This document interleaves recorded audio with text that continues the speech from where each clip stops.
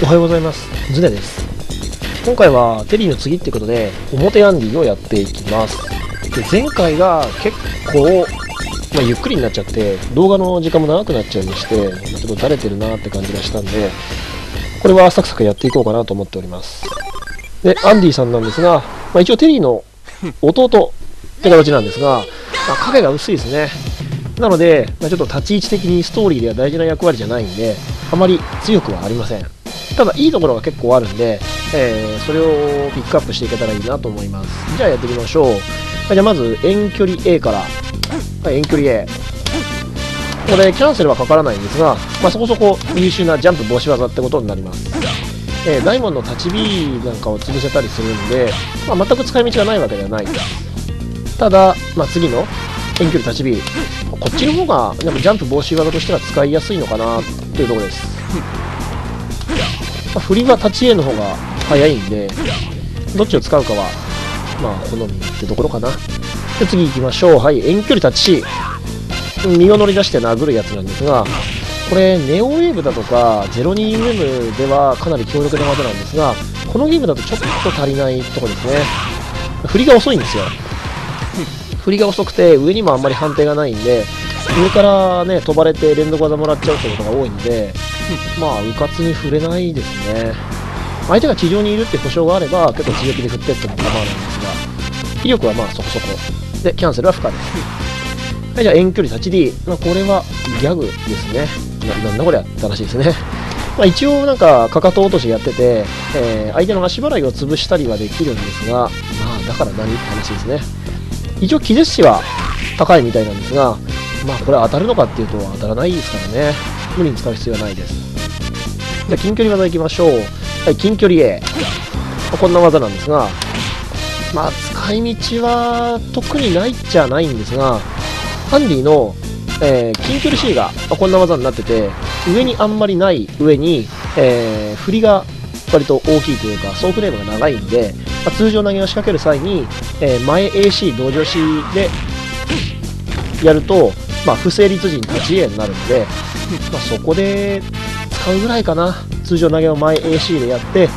立ち絵になるようにしようねというところで、まあ、近距離 C の代わりに、こっちだったらいいかみたいなはい、そんなところです。はい、じゃあ、タッチ B ですね。まあ、なんか、相手をバカにしたような感じの距離になっておりますが、相手の起き上がりに重ねると、まあ、近距離 C が繋がったりするんで、面白いっちゃ面白いんですが、普通にガードさせると、まあ、プラマイ0、まあ、5分になりますんで、まあ、攻めの中で使っていけなくもないかなっていうぐらいですかね。重ねてみましょうか。こんな風に繋がるんですが、まあ、だから何って話ですね。じゃ続いて近距離 C。2段技です。で、2段ともキャンセルかかります。2段ともキャンセルかかるんですが、まあ、アンディの連続技といえば、この撃壁排水晶っていう大事な芸なんですね。こいつを決めるためには、一発目にキャンセルで、えー、こいつを入力しないと出てくれないんですよ。というわけで、えー、この2段技であることを活かしてヒット確認で連続技っていうのは、まあ、やややりにくいと。まあ、一応ダメージ的に妥協した、はい、証券でいいんであればこうやってできるんですが、まあ、証券や残影券であればできるんですけれども激液排水晶が入らないんで まあちょっと、うん、悲しいかなと。もうちょっと性能良ければね。まあ発生が早いんで、えー、とっさの暴れだとか反撃なんかでは使いやすいです。はい、じゃあ続いて近距離立ち D はい、なんか上蹴ってて飛んでる相手にねジャンプで逃げようとしてる相手に当たりそうで結構見た目優秀そうに見えるんですがなんとキャンセル不可ですこれキャンセルかかればね、えー、撃撃排水晶仕込んでかなり優秀な行動、えー、いい行動になるんじゃないかなと思うんですがキャンセル不可なんでうーんちょっとうなってしまうとこですねこれは。まあ B 投げ仕掛けて相手が飛んで逃げていてもこれになってくれるよっていうぐらいしかいいところはないかもしれません。で続いてしゃがみ技いきましょう。えー、しゃがみ A。まあ、普通の、至って普通のしゃがみ A ですが、これガードさせて、えー、プラスマイナス0、えー、5分になります。まあ、そこそこ判定が強いんで、牽制としても使えますね。ただ、まあ、これキャンセルかかって、えー、上げ面なり、下となりいけるんですが、しゃがみ B が、しゃがみ B ですね。これガードさせると1フレ不利ではあるものの低姿勢でキャンセルがかかってしまうので、まあ、しゃがみ A を使う機会はあまりないんじゃないかなとしゃがみは低姿勢であることを生かしてしゃがみ体験を使ったり飛び道具を避けたり、えそして連続技でね使ったりと、えーかなりお世話になります。アンディの通常技の中である意味一番頼れるかもしれないですね。で続いてしゃがみ C えーこれなんかテリーになんか近いものを感じるんですがかなり判定が強いです。判定強くてキャンセルの受付時間長いんでまあそうですね。と確認で、えー、残影圏に一応行けたりしますただ距離が遠いと今みたいに繋がらないってことがありますんでまあ毎回毎回ヒットしたからって出していいわけではないどっちかっていうと反発で使う方が安全かなまあ、ベニマルの立ち B だとか、えーハイキック系のジャンプ防止技系の技に対して出していくとかなり打ち勝ちやすいです。ま、まダメージはそこそこですね。はい、じゃあ次、足払い。えーかなり姿勢低くなるんで使えそうに見えるんですが短いです。この位置で当たっておりません、えーかなり判定がね見た目通りにはなっていなくて短いんですね。なのでちょっと使いにくい。キャンセルもかかりません。だからまあうーん姿勢の低さを生かす時以外は出さない方がいいのかなっていうところです。続いて、えー地上吹っ飛ばし。地上吹っ飛ばしなんか一応回し蹴りみたいになってますね。後ろにも足いってますんでね、まあ、細かくなんかグラフィックこんな書いていただいて、えーアンディさんも喜んでいそうなんですが、えー残念なことに後ろ側に攻撃判定はありません。で、えー隙も大きくまあ判定も特別強いわけじゃないと。でキャンセルで何を出すのって話になるんですが、まあキャンセルかかるんでキャンセルで何を出すのって話になるんですがまあガードさせて大丈夫な技がアンディにはほとんどないんで道ないですかね。ちなみにガーキャン吹っ飛ばしでこの技を出すとスキーが結構でかいです。スキーがかなりでかくてこのガーキャン吹っ飛ばしをガードされるとファイナルインパクトなんかで反撃もらっちゃうんですね。だからアンディ使ってる方はちょっと気をつけてください。続いて、えージャンプ攻撃いきましょう、えージャンプ A ですね。ジャンプ A まあ、なんか下に手を出してるだけで下方向の焦点みたいになっていますが一応めくり性能がわずかながらあります、まあ、相手がアンディってことでね自動キャラになっててちょっとめくりにくいっていうのもあるんですが一応めくれますよと。キャンセルもかかります。相手を幻惑する効果はありますがまあただまあ嫌がらせ技ですかね。この技を使ったことによって劇的に何かキャラランクが変動するなんてことはないと思います。続いてジャンプ B まあ、これは、まあ、見た目がなんだこれやって感じがしますけれども空中戦強いです、まあえー中間距離で、えー、棋戦を制する、まあ、自分のターンにペースにしたいなっていう時にはこんな感じで、えー早出しで飛んでいくとペースを握りやすいですね。空中でぶつかり合った場合に、えー一方的に勝てますし、まあ、しゃがみ対空取られるような間合いじゃなければ結構安全だったりします。で続いてジャンプ C いきましょう、えージャンプ C、まあ、これはまあ特に使い道はなくてただキャンセルがかかるというだけですね。そこそこいいとこに判定は出てるんですが、まあ、だからって使いやすいかっていうとそんなこともなくて判定は強いけども出てほしい場所に判定が出ていないっていうことですかね。まああまりお世話になることはないかなという気がします。結構いい判定をしてるだけで残念。はいじゃあジャンプ D いきましょう。ジャンプ D これがジャンプ攻撃の中で一番お世話になるでしょう。えー判定もそこそこ、まあ、ダメージもそこそこで、えー、牽制技としてはかなり優秀です。で下方向に結構ありますんで、えー、低姿勢の相手にも当てやすいです。あとはちょっとまあ相手がアンディになっちゃってますんで、えー中断にすることはできないんですが、えーこれ大門ぐらい、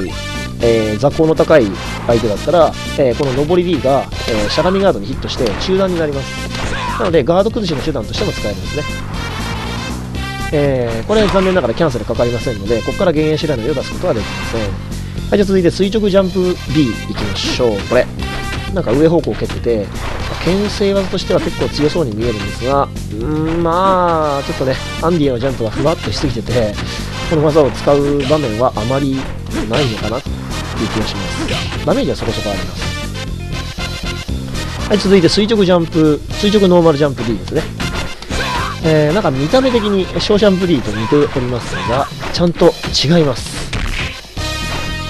えー、こちらの方がより判定が強くなっておりますので、えー、要所要所でちゃんと混ぜていけばかなり強力ですジャンプ D と垂直ノーマルジャンプ D 結構似てますが使い道もほぼ同じですがやや垂直ノーマルジャンプ D のが、えー、牽制能力高くなっておりますはい、じゃあジャンプ CD 行きましょう。ジャンプフットバシ。さあ、なんか上方向を蹴っている技で、えー、空中戦でそこそこ強いです。で、まあ、キャンセルもかかります。こんな感じですね。で、まあ、普段空中戦、まあちょっとリターンも取りつつ自分のペース握りたいな、みたいな時に、早出しでこれ飛んでいくっていうのが主な使い方になりますので、あとは、はい、撃撃上げつら、この技で追撃みたいなところでしょうか。じゃあ、C 投げいきましょうかね。通常投げ。さあ、これ、通称残酷な投げです。まあ、残酷っていうか、ド S な投げ。はい、蹴り飛ばすんですね。えー、サッカーボールキックみたいなやつで蹴り飛ばすんで、えー、まあ、残酷な、痛そうな見た目をしておりますが、あまり減りません。ただその代わり、あのダウン回避不可なんで、えー、置き攻めにはいけます。まあ、この投げの後に残影剣を出して、移動しつつ、まあ、置き攻め、ゲージためと移動を兼ねて目の前行って置き攻めってことも一応できます。ただまあ、えー、さっきも言った通り、えー、不成立時に出る技が近距離 C になっちゃってて、相手に飛ばれていた場合がちょっと危ないんですね。こうなると、まあ、えー、上から攻撃をもらってしまう可能性があるんで、ここはまあ立ち絵にして、ちょっと隙を減らすっていうところを考えなきゃいけない。んじゃあ、続いて D 投げかなはい、D 投げ。はい、えー、立ち D がそこそこ優秀なだけに、えー、この投げ自体が優秀だったらよかったなというとなんですが、この投げ、実はダウン回避可能です。ダウン回避できちゃうせいで、えー、まあ、背抜けダウン作れる投げ技ではあるんですが、ダウン回避されちゃうんで、あまり意味ありません。ダウン回避すると、ちゃんとこっち、自分の方向いちゃいますんで、えー、背抜けダウンは作り出すことができません。なので、まあ、あんまり狙わないかな。やっぱ C 投げの方がいいと思います。じゃあ特殊技いきましょう。特殊技、はい、前斜め下へ。はい、えー、上げ面なのか上げ面なのかで、えー、物理を醸すぐらいの、えー、存在感のある技なんですけれども、確か画廊だと上げ面、警部だと上げ面なのかな、まあ、僕は普段上げ面って呼んでおりますが、まあそれはともかく、発生が結構早くて、2段技で、で、えー、2段目にキャンセルがかかるようになっております。えー、社の前へとかを近めでガードした時に反撃技として使えるんですね。結構発生早いんですよ。ジャックからつながって、えー、そして2段目にキャンセルがかかって、まあ、残影剣がつながると。あとは空中の相手に当てると、えー、浮く性質を持っておりましてやられ判定残したまま浮く性質を持っておりましてこんな風に追撃できるんですね。だから空中コンボは結構面白くなったりします。まあ、こういう普通に決めるのの他に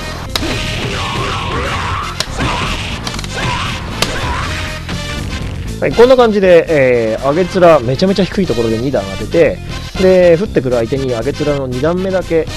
当てて、えー、そしてジャンプットをして追撃と、まあ、こんなのもありますよってとこですかね。まあ実戦で狙うにはちょっと難易度高いかなっていう気がしますが。はい、じゃあ続いて前 B 行きましょう。前 B。まあ、これ、えー、減塩白のの追加と見た目的にはかなり近いんですけれども、えー、出始めが姿勢が低くて、えー、いろんな技を避けられます。まあ、飛び道具避けるのにはさすがに使えないんですけれども、まあ、いろんな技が良かったりできます。で、見た目通り、えー、上から足を振り下ろしておりますので、これ、上方向にも攻撃判定があります。相手にジャンプを引っ掛けたりもできますね。で、えー、これは中段技となっております。ダメージもそこそこあって、ガード苦しには使えるように思えるんですが、なんと、ヒットさせても反撃を受けます。ヒットさせても、えー、出の速い技で反撃を受けてしまうので、まあ、最先端を当てて、えー、反撃されないよう祈るみたいな使い方になっちゃうのかなっていうところですね。あとはしゃがみ C、えー、カラキャンセルでこうやってこの前 B を出して、えー、しゃがみ C って上方向ばら空きですんで、この上方向をカバーする意味でこうやって出してみたいな。ま、今空欄になっちゃいましたが、しゃがみ C からキャンでこうやって出して上方向をカバーするといいかなと。そんなとこですかね。えー、キャンセル版だと、こんな風にキャンセルがかかるようになります。通常技キャンセルから前 B を出すと、えー、この前 B から空中判定なんで空中扱いなんで、えー、原野調べが出せるようになりますよというところです。じゃあ必殺技いきましょう。はい、じゃあまずアンディの強さを支える激壁排水晶から。これですね。えー、打撃投げです。発生はそこまで速くないんで、まあちょっと狙いにくいっちゃ狙いにくいんですけれども、まあ、連続技、そしてガード崩しで、えー、大変重宝しています。でまあ、何もないところでいきなり仕掛けても、まあ、構わないっちゃ構わないんですが、相手の暴れと相打ちもしくは一方的に負けたりすることもありますんで、まあ、狙い目としては連続技はもちろんのこと、相手がダウン回避したところに、えー、近づいてこの技を出すといいと思います。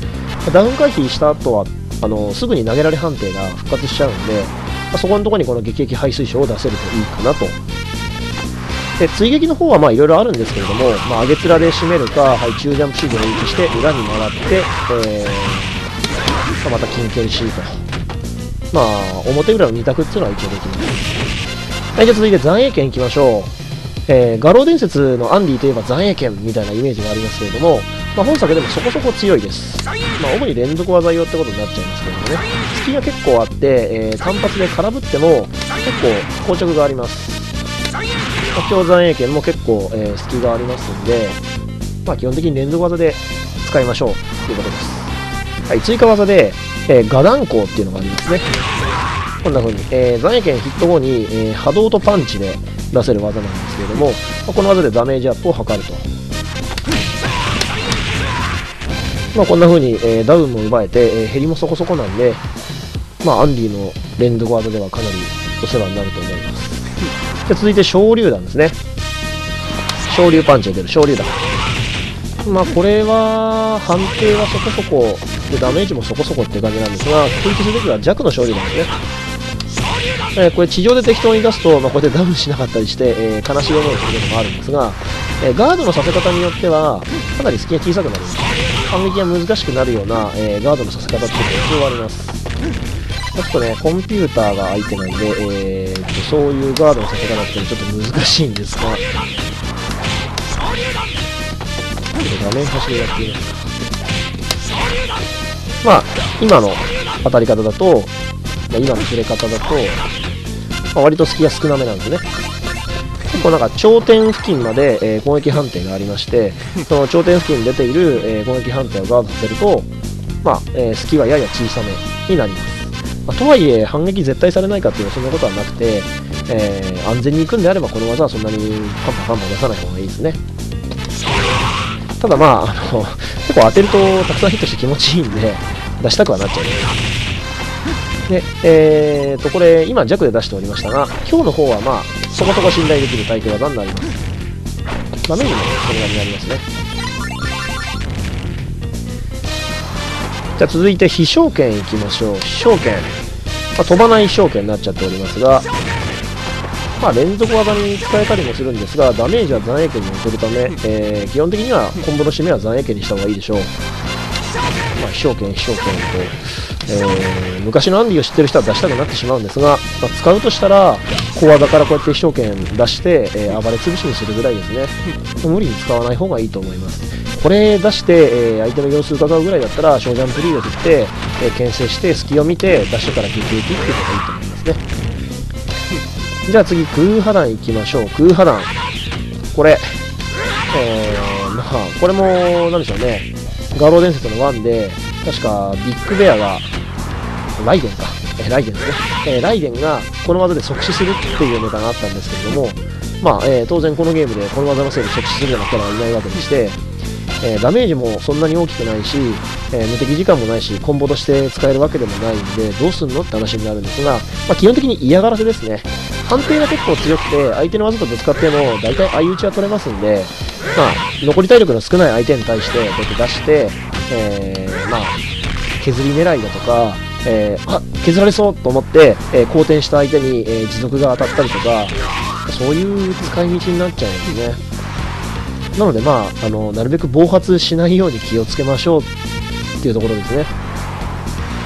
嫌がらせに使うか、えそうでないんだったら暴発しないように注意と。えじゃあ、幻影知らぬいきましょう。空中技ですね。空中で波動キックで出ます。で、えー、この技自体にまあ攻撃判定があるんですが、まあ、この技で止めるとちょっと隙がでかいんで、まあ、どうするかっていうと追加技があるんですね。追加技、パンチを押すと、こんな風になんか、低姿勢の焦点みたいなのが出ます。キックを押すと、まあ、今度は中段技が出ますこのパンチの方、えー、これ下アギトっていう名前なんですけどこちらはそんなに隙がないので、結構使いやすいです。コンボにもできますね。うん、こんな風に、えー、浮いた相手に近距離 C を決めることもできます。まあ、でも画面端のコンボ以外では、この浮いたところに追撃っていうのはなかなかできないと思うんですけど、まあ、特筆すべきはこの幻影知らない飛び越してから出すと、ちゃんと戻ってくるんですね。このなんか Z の字を書くようにして、えー、攻撃ができますんで、これは結構相手のガードを崩す上で、えー、重宝するんじゃないかなと。飛び越して戻って攻撃と。で、えー、こちらのキックの方、えー、上アギトっていうんですが、まあ、これ、中段技になっております。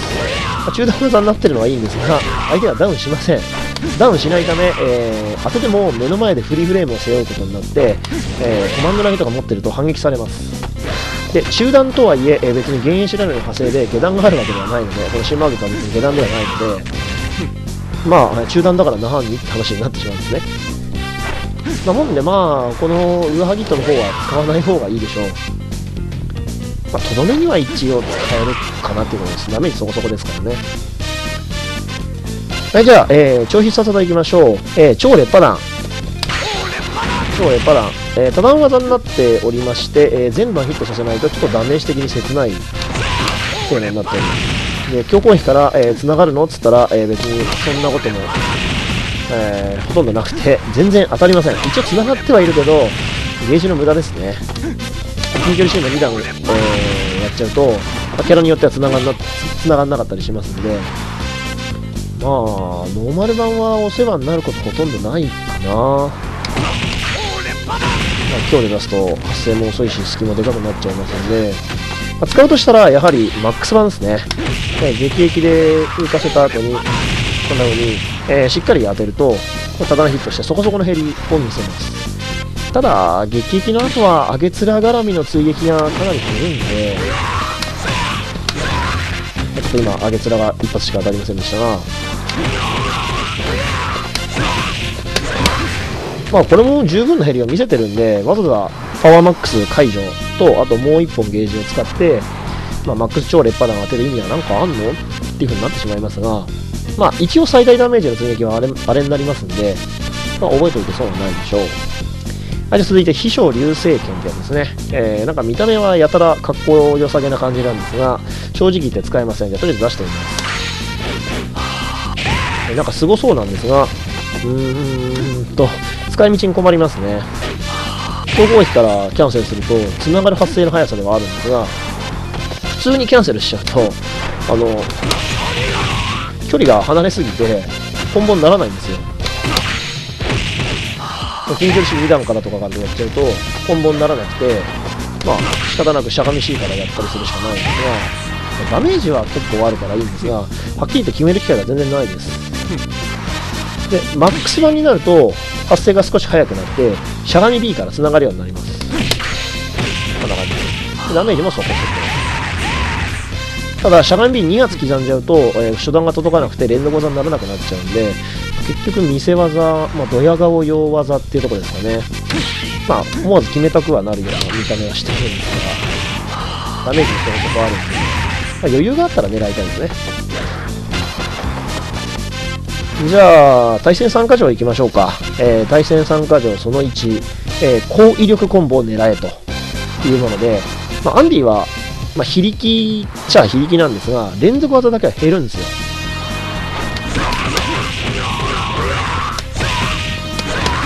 これで攻め継続、相手がダウン回避していたら、えそこにダッシュから撃撃排水晶がまた狙えるよという展開になるんで、え、とにかく撃撃排水晶まで、えー、つなげていければ、まあ、高威力コンボで、え、一気に相手を倒してしまえます。ただ、アンディは、え防御力が低くて、あのリアルにね、あのダメージを食らいやすいんで、えー、普通のキャラだったら1割しか減らないところをアンディだけ1割2分ぐらい減ったりしますんで、まあ、やられる前に攻撃力コンボでやっちゃうっていう風にするしかないところもあります。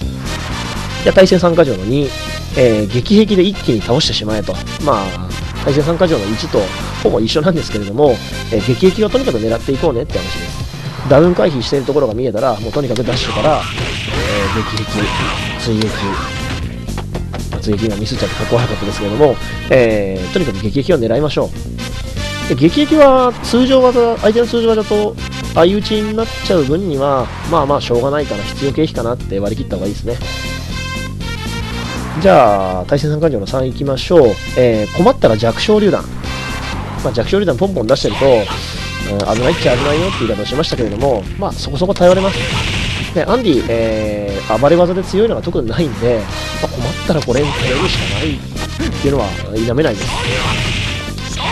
えー、当て方、ガードさせ方によっては、えー、相手に見逃してもらえることもありますんで、まあ、使っていきましょう。ま、ちょっとなんか情けない対戦参加条になっちゃっておりますが、えー、本当にアンディは一発一発でかいです。一発一発でかいというとね、あの火力、単発の火力があるみたいに思われちゃうかもしれないけど、まあ、いろんなところからコンボが狙えるっていう意味で、一発一発がでかい。細かいところからね、コンボいけますんでね。まあ、しゃがみ B から今みたいに撃撃排水車も入れば、